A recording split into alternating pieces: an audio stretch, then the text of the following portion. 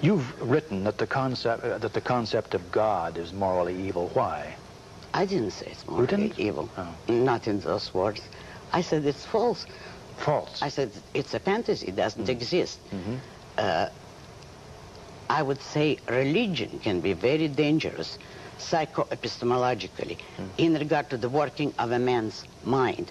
Faith is dangerous because uh, a man who permits himself to exempt some aspect of reality from reason and to believe in a God even though he knows he has no reason to believe in a God, there is no evidence of a God's existence, that is the danger. Psychologically, that man is not going to be rational or will have a terrible conflict. Religion- It's wrong in that way. However, uh, let me say, I certainly recognize anyone's right to have any religion they want to.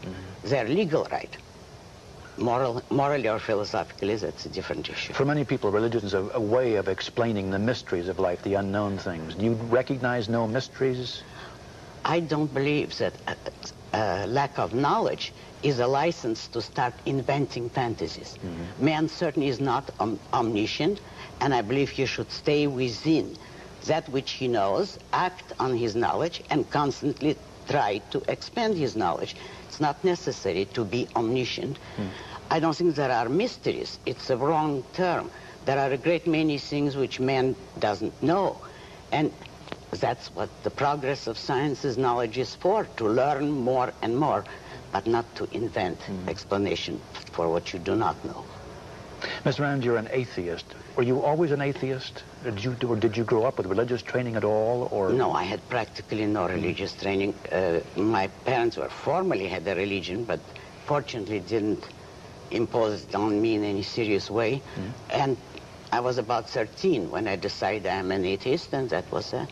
Was there anything that brought you to this? No, mm-hmm. just simply thinking on the subject. Mm-hmm. And my main reason was that it is wrong to believe anything for which there is no evidence, and also the fact that I resent religious morality, which tells man that he's an inferior being. He's And not. He is not. As far as he knows, he's the highest creation in civilization, or the highest being. And the idea of accepting on faith some ineffable being who is superior to you in every way, even though you cannot aspire to that perfection, that is just a formula for psychological inferiority complex, hmm. for self-abasement, and I saw no reason for men to accept it. That's as early as 13. Yes. I still think so, but I know it much more clearly now.